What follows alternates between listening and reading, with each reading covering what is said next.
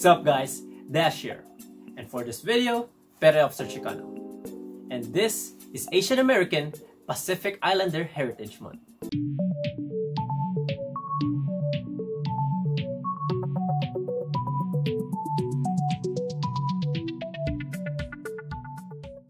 Like most commemorative months, Asian Pacific Heritage Month originated in a congressional bill.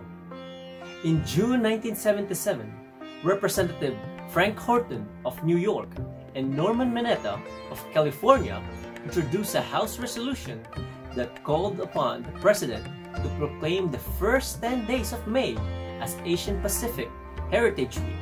The following month, Senator Daniel Inouye and Spark Matsunaga introduced a similar bill to the Senate on October 5, 1978.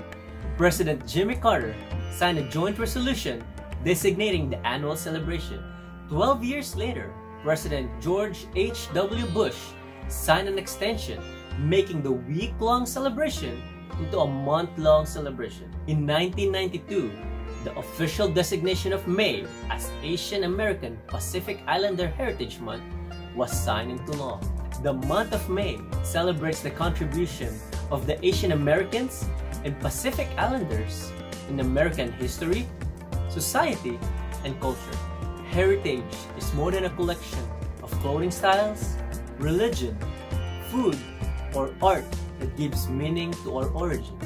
Heritage is all about ideas, experiences, thoughts, and beliefs. May was chosen as Asian American Pacific Islander Heritage Month to commemorate the immigration of the first Japanese to the United States and to mark the anniversary of the completion of Transcontinental Railroad on May 10, 1869. The majority of the workers who laid the tracks were Chinese immigrants. For us in the United States Navy, according to the portrait of Asian Pacific Islander active duty service members, there are almost 23,000 Asian Pacific Islander in the United States Navy. 22% are E6 and above, while 8% are commissioned officers. There are also 22,800 Asian Pacific Islander as Navy civilians as of fiscal year 2019. The following are the notable sailors in the AAPI community. Admiral Harry Harris was born in Japan, raised in Tennessee and Florida, and he took command of the U.S. Pacific Command, U.S. PACOM, May 27, 2015, and became the 24th commander since U.S. PACOM was established in 1947. Lieutenant Susan Ahn Cuddy, a Korean American, served in the United States Navy as member of the Waves, woman accepted for volunteer emergency service and became the gunnery officer. And for this video, representing all Filipinos in the United States Navy, Fireman Second Class Telesforo Trinidad is the only Filipino in the United States Navy to be awarded the Medal of Honor. Born on 25th November 1890 in Aklan Province, Panay, Philippine Islands, Trinidad enlisted in the United States Navy after the United States took possession of the archipelago in the wake of the Spanish-American War.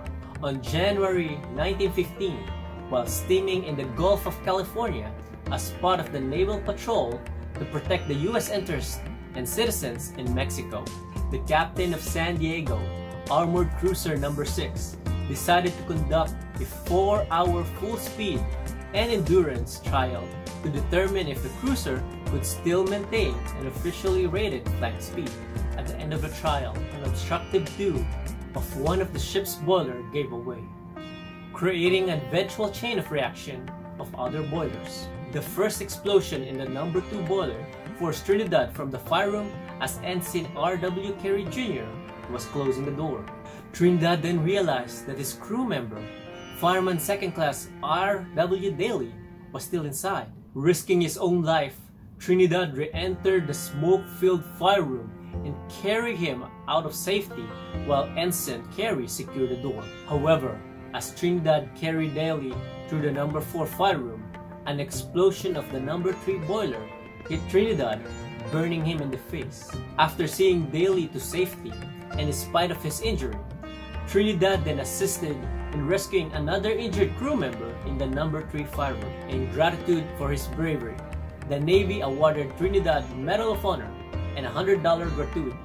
Trinidad survived the ordeal and lived a long life, finally passing away at the age of 77 on May 8, 1968 in Imus, Cavite, Republic of the Philippines. To me, diversity means having a different perspective whether you experience a fine state of life anywhere in the country or has experienced a third world country.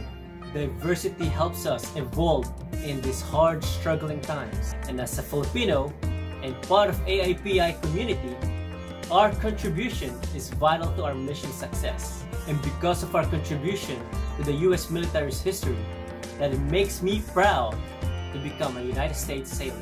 So if you want to give a huge shout out to your Asian American Pacific Islander friends, please put their names in the comment section below. And if you like this video, please don't forget to hit the like and subscribe button. Thank you for watching. Booyah Navy!